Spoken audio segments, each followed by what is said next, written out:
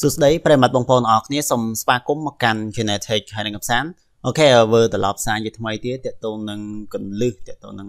បញ្ហា YouTube copyright ហើយនឹងតកតងនឹង copyright strict អូខេអញ្ចឹងអ្វីដែលខ្ញុំចង់លើកមកនេះគឺបញ្ហាដែលខ្ញុំជួបផ្ទាល់តែម្ដងសម្រាប់ YouTube policy 2020អញ្ចឹងចង់ដឹងថាវាមានអត្ថន័យដូចម្ដេចខ្លះតោះ go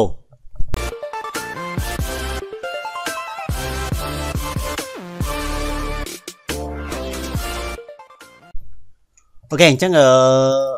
អ្វីដែលខ្ញុំចង់បង្ហាញបងប្អូននៅក្នុងវីដេអូនេះគឺវាមានពីរប្រភេទដែលខ្ញុំបានជួបប្រទះសម្រាប់ឆ្នាំ2020នេះទី1គឺតកតទៅនឹង YouTube copyright content ហើយទី2គឺតកតទៅនឹង YouTube copyright strict អញ្ចឹងវាមានពីរណាហើយខ្ញុំនឹងចែកម្លែងនៅបបពិសោធន៍របស់ខ្ញុំផ្ទាល់ហើយសម្រាប់វីដេអូនេះដែរគឺសម្រាប់បងប្អូនដែលគាត់ជា YouTuber ដែល គាត់កំពុងតែជួបបញ្ហាហ្នឹងហើយគាត់អត់ទាន់យល់ទៅនឹងបញ្ហាមួយចំនួនវាអាចថាដោយសារតែបងប្អូនទាំងអស់គ្នាខ្វះការ research ហើយទី2អាចថាអង់គ្លេសបងប្អូននៅមានកំណត់អញ្ចឹងវាជាបញ្ហាដែលយើងមិនសូវយល់ពីវាអូខេឥឡូវខ្ញុំសូមនិយាយទី1ទី1គឺតកតទៅនឹង YouTube copyright content ហើយខ្ញុំសូមសំណូមពរថា តកតទៅនឹងបញ្ហានេះគឺមានតែបងប្អូនដែលគាត់ធ្វើតកតទៅនឹងវីដេអូ portrait តកតទៅនឹង technique ផ្សេងផ្សេងដូចជា channel របស់ខ្ញុំនេះគេហៅថាតកតងវីដេអូ portrait តកតងនឹង technology ឬក៏តកតងនឹង computer ទូរស័ព្ទអីហ្នឹងអាហ្នឹងគេហៅថាវីដេអូ portrait តកតងនឹង technology ការដោះស្រាយផ្សេងផ្សេងហ្នឹងឬក៏កម្មវិធីការតម្លៃផ្សេងផ្សេងហ្នឹងគេហៅនេះហើយគឺតកតង សម្រាប់បងប្អូនដែលគាត់ធ្វើវីដេអូទាក់ទងនឹងការ download កម្មវិធីដូចជា Adobe Premiere ឬក៏ Adobe Photoshop Adobe Sony Vegas ឬក៏ Camtasia ឥឡូវគឺមានបញ្ហាច្រើនមែនតើបងប្អូនណាគឺវាប្រឈមនឹងបញ្ហា copyright strict ហ្មងគឺ strong មែនតើហ្មងសម្រាប់បងប្អូនដែលគាត់ធ្វើវីដេអូដូចជាខ្ញុំខ្ញុំពីមុនបងប្អូននឹងស្រាប់ខ្ញុំក៏ធ្វើធ្វើតាក់ទងនឹងវីដេអូ របៀប download Adobe Premiere ឬក៏ download Photoshop ចំនួនចុងក្រោយហ្នឹងគឺខ្ញុំបានធ្លាប់ធ្វើការ download ដែរប៉ុន្តែពេលដែលខ្ញុំធ្វើការ download អឺបង្រៀនបងប្អូនទាំងអស់គ្នាពីរបៀប download របៀប crack របៀបអីគឺវីដេអូដែលខ្ញុំធ្វើប្រហែលតទៅនឹងវាគឺចប់ copyright ទាំងអស់បងប្អូន អញ្ចឹងសម្រាប់បងប្អូនដែលគាត់ធ្លាប់ជួបអាច comment នៅខាងក្រោមដើម្បីធ្វើជា reference ឬក៏បងប្អូនដែលគាត់ធ្វើវីដេអូដូចខ្ញុំតាក់ទងនឹង content របៀប download Sony Vegas ឬក៏ Adobe Premiere Adobe អីហ្នឹងសំខាន់គឺ Adobe គឺជាប់ទាំងអស់ហ្មងបងប្អូនគឺជាប់ទាំងអស់អញ្ចឹងបើសិនជាបងប្អូនអត់ទាន់មានបញ្ហាទេមានវីដេអូអញ្ចឹងអាចធ្វើការអឺ delete វីដេអូនឹងចោលទៅមិនស្ដាយទេជៀសវាង copyright strict គឺ3ខែ អូខេគឺអញ្ចឹងហើយសម្រាប់អា copyright strict គឺបងប្អូនទាំងអស់គ្នាពិបាកនឹងធ្វើការ claim ដោយសារអីតកតទៅនឹងកម្មវិធីហ្នឹងវាមិនមែនជាកម្មវិធីរបស់យើងទេហើយយើងក៏មិនមែនជា creator ឬក៏ជាអ្នក developer នៅកម្មវិធីហ្នឹងទាំងអស់ទេមានន័យថាគឺយើងប្រើកម្មវិធីគេបង្ហាញវីដេអូអញ្ចឹងអ្វីដែលខាងគេ report ហ្នឹងគឺខាងម្ចាស់កម្មវិធីអ្នកដែលគេបង្កើតកម្មវិធីហ្នឹងគឺគេជាអ្នក report នៃកម្មវិធីហ្នឹង អញ្ចឹងហើយដែលវាជាបញ្ហាដល់ពេលដែលយើង appeal ឬក៏ submit តាក់ទងនឹងនិយាយជាមួយនឹងខាង YouTube team ហ្នឹងគឺយើងយកឈ្នះគេទេដោយសារតែវាមិនមែនជាកម្មវិធីរបស់យើងOK ឥឡូវយើងចូលមកដល់ប្រធានបទទី2គឺខ្ញុំចង់និយាយតាក់ទងនឹងបញ្ហា YouTube copyright YouTube copyright strict ហើយនឹងរបៀបក្នុងការ remove វា OK អញ្ចឹងខ្ញុំនឹងចូលមកកាន់អញ្ចឹងសម្រាប់ YouTube 2020 copyright strict គឺវាអត់មានបង្ហាញនៅកន្លែងគេហៅថា feature របស់វាទេវាអត់មានបង្ហាញយកអាស៊េរីចាស់ classic ហ្នឹងគឺវាមានបង្ហាញច្រើននេះអញ្ចឹងសម្រាប់បងប្អូនដែលគាត់ចង់ដឹងថាបង channel បងប្អូនវាស្ថិតនៅក្នុងកម្រិតណាទទួលបាន copyright strict កម្រិតណាគឺបងប្អូនមានតែចូលតាមខ្ញុំមកបងប្អូនចូលកន្លែង channel របស់យើងហ្នឹង បន្ទាប់មកបងប្អូនអរគ្នាមិនបាច់ចូលកន្លែងយក channel ឬក៏ YouTube Stereo Beta ទេគឺវាអត់ load ឲ្យទេណាអត់មាន load ឲ្យទេអញ្ចឹងយើងចូលកន្លែង setting ខាងក្រោមគេអស់ដើម្បីឆែកមើលថា channel របស់យើងគឺស្ថិតនៅក្នុងកម្រិតណាចូលកន្លែង setting ហ្នឹងមកអូខេហើយទី2គឺបងប្អូនទាំងអស់គ្នាត្រូវទៅចូលនៅកន្លែងនេះគឺតកតទៅនឹង channel status and feature អញ្ចឹងគឺវានឹងបង្ហាញតើ channel បងប្អូនទទួលបាន copyright streak អឺដល់កម្រិតណាកម្រិតណាគឺយើងចូលកន្លែងហ្នឹងមកអូខេចុចទៅលើវាហ្នឹងមកអូខេបងប្អូនឃើញស្រាប់ហើយនេះគឺជា channel របស់ខ្ញុំហើយ channel របស់ខ្ញុំគឺវាអត់ទាន់បាន copyright មួយទេ គឺវានៅទេអូខេប៉ុន្តែគឺខ្ញុំទទួលបាន warning មួយអញ្ចឹងមានន័យថាសម្រាប់ឆ្នាំ2020នេះគឺយើងទាំងអស់មាន warning រហូតដល់4មានន័យថា មុនដំបូងបំផុតអានេះ warning របស់ខ្ញុំគឺតាក់ទងនឹងរបៀបនេះមួយគឺខ្ញុំបានជាប់ខុស community guideline របស់វាដែរគឺតាក់ទងនឹងការបង្រៀនគឺតាក់ទងបង្រៀនពីការ download កម្មវិធី MP3 ហ្នឹងពី YouTube ទៅប្រើកម្មវិធីផ្សេងអញ្ចឹងវាខុសគោលការណ៍មកគេកន្លែងហ្នឹងខ្ញុំសូមបញ្ជាក់បងប្អូនទាំងអស់គ្នាអ្នកដែលធ្វើ YouTuber គឺខ្ញុំសូមអឺនិយាយកន្លែងហ្នឹងតិចគឺបងប្អូនទាំងអស់គ្នាធ្វើវីដេអូអីក៏ដោយបងប្អូនកុំឲ្យគេថាអឺ ភ្ញៀវរបស់គេហ្នឹងគឺទៅមើល website ផ្សេងឬក៏មើលកម្មវិធីអីផ្សេងផ្សេងគឺបងប្អូនទាំងអស់គ្នាកុំធ្វើឲ្យសោះបើសិនជាបងប្អូនធ្វើធ្វើឲ្យមនុស្សចាក់ចេញពីខាងក្រុមហ៊ុនអឺ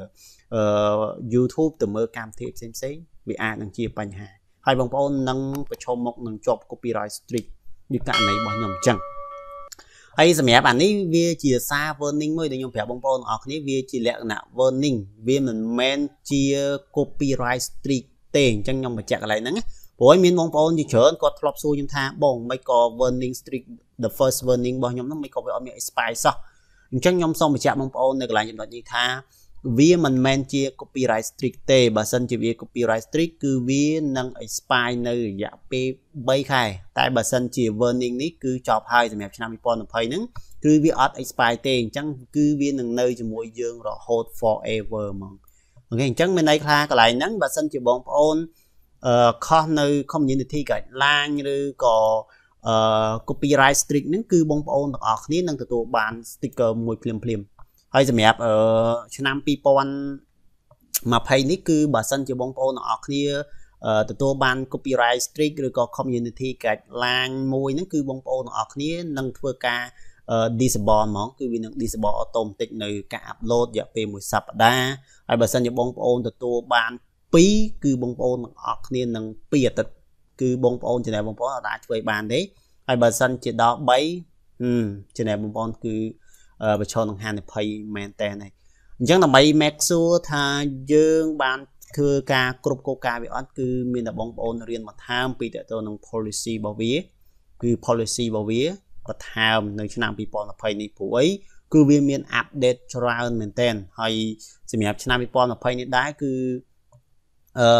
តកតងថា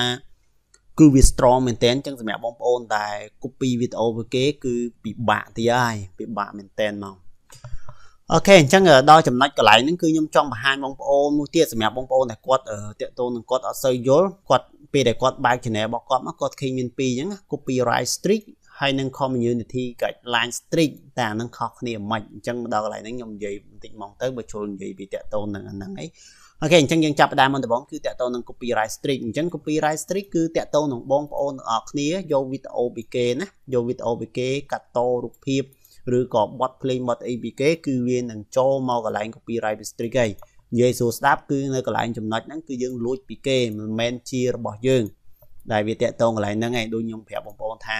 content មួយចំនួនខ្ញុំនិយាយពីដើមហ្នឹងគឺខ្ញុំអត់ឲ្យបងប្អូនធ្វើតាក់ទងនឹងអាហ្នឹងទេហើយបើសិនជាមាន បងប្អូនទាំងអស់គ្នាធ្វើការ delete វាចោលទៅមិនបាច់ស្ដាយទេជៀសវាងនឹងជាប់បញ្ហា copyright strict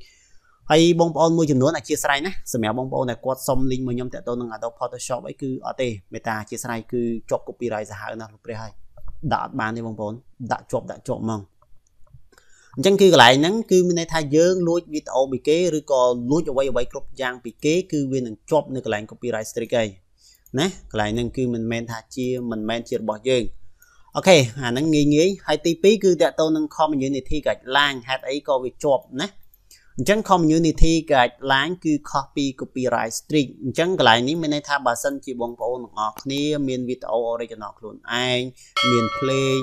មានវីដេអូមានអីនិយាយចំ everything គឺបងប្អូន create ខ្លួនឯងទាំងអស់ប៉ុន្តែវានៅតែជាប់អឺកន្លែងហ្នឹងបាន sticker កន្លែងហ្នឹងមានន័យថាបងប្អូនទាំងអស់គ្នាធ្វើខុសនៅគោលការណ៍របស់ខាងក្រុមហ៊ុនអឺ YouTube ដូចជាទី1ដែលខ្ញុំបង្ហាញអញ្ចឹងគឺយើងត្រូវតែធ្វើតាមគោលការណ៍របស់គេហើយដើម្បីដឹងគោលការណ៍របស់គេបងប្អូនអរគ្នាចូលកន្លែងហ្នឹងមកគឺវានឹងបង្ហាញនេះហ៎គឺវានឹងបង្ហាញតទៅនឹងវីដេអូនឹងគោលការណ៍ផ្សេងផ្សេងចឹងបងប្អូនអរគ្នាត្រូវតែធ្វើការអានវាហើយនឹងស្វែងយល់វាបន្ថែមពេលខ្លះ Google គឺវាអត់100%ទេក្នុងការបកប្រែអញ្ចឹងទាមទារបងប្អូនរៀនបន្ថែម អញ្ចឹង content ដែលប៉ះពាល់ដូចខ្ញុំបញ្ជាក់សម្រាប់ឆ្នាំ2020នេះគឺតកតទៅនឹងបងប្អូនដែលធ្វើវីដេអូសម្រាប់ឲ្យក្មេងមើលបងប្អូនអរគ្នាត្រូវតែធ្វើការកំណត់អាយុឲ្យបានត្រឹមត្រូវណាគឺកំណត់ឲ្យបានត្រឹមត្រូវដូចខ្ញុំធ្លាប់បង្ហាញនៅវីដេអូមុនមុនអញ្ចឹងគឺខ្ញុំអត់និយាយទៀតទេហើយបើសិនជាបងប្អូនអត់ទាន់បានដឹងហើយតាមមើលលើដំបូងមេតាមើលវីដេអូខ្ញុំចាស់ចាស់ទៅខ្ញុំអត់និយាយច្រើនកុំឲ្យវានិយាយច្រើនវាដែរតែអញ្ចឹងណា អូខេអញ្ចឹងគឺវាអញ្ចឹងហើយវីដេអូដែលខ្ញុំខមមិនបងប្អូនអរគ្នាគឺមិនគួរធ្វើវីដេអូតាក់ទង 6C អូខេតាក់ទងនឹងវីដេអូយើងអ្នកខ្លះគាត់ដាក់ thumbnail អីដាក់ 6C អ្វីដែលហួសពីការគិតពិតអញ្ចឹងណាហើយរៀងក្មេងៗហ្នឹងគឺមេតាកុំមិនសោះដាក់ទៅដឹងពុកហើយដាក់ទៅដឹងចប់ហើយកុបផារបស់គេហ្នឹងវីដេអូដែលមានហានិភ័យគ្រោះថ្នាក់អីផ្សេងផ្សេងសូមមេតាកុំធ្វើហើយបើសិនជាវីដេអូដែលបងប្អូនគិតថា វាប្រហែលជាមិនអីឬក៏នេះសូមបងប្អូនអរគ្នាពេលដែលវីដេអូមុនដំបូងគេហៅថាវីដេអូ intro មុនដំបូងគឺបងប្អូនអរគ្នាត្រូវតែធ្វើការសរសេរ write up អឺនៅលើវីដេអូថាវីដេអូនេះមិនមែនសម្រាប់ក្មេងអញ្ចឹងបើសិនជាមានភ្លេងឬក៏ខ្លះវាអាចនឹងប៉ះពាល់ក្មេងអញ្ចឹងសូមមេដាបៃតាអាយុប៉ុណ្ណេះក្មេងអាយុប៉ុណ្ណេះសូមកុំមើលវីដេអូនេះអញ្ចឹងអញ្ចឹងយើងត្រូវធ្វើការសរសេរ description ឬក៏វីដេអូឲ្យបានត្រឹមត្រូវនិងកំណត់ channel វីដេអូរបស់យើង សម្រាប់គប់ប៉ានឹងឲ្យបានត្រឹមត្រូវតែអញ្ចឹងគឺវាប៉ះពាល់វាស្ថិតនៅក្នុង community guideline stick នឹងហើយបងប្អូននឹងទទួលបានOK អញ្ចឹងខ្ញុំសង្ឃឹមថាអ្វីដែលខ្ញុំនិយាយពីដើមរហូតមកដល់ឥឡូវនេះសង្ឃឹមថាបងប្អូនទាំងអស់គ្នាយល់ហើយបើសិនជាបងប្អូនមានចម្ងល់ផ្សេងផ្សេងបងប្អូនអាចធ្វើការ comment នៅខាង comment OK តោះអញ្ចឹងអរគុណ